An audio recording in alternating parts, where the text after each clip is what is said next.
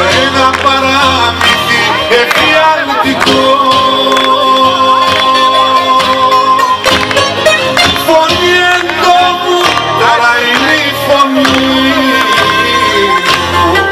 Φυτό αναρριχόμενο η ζωή μου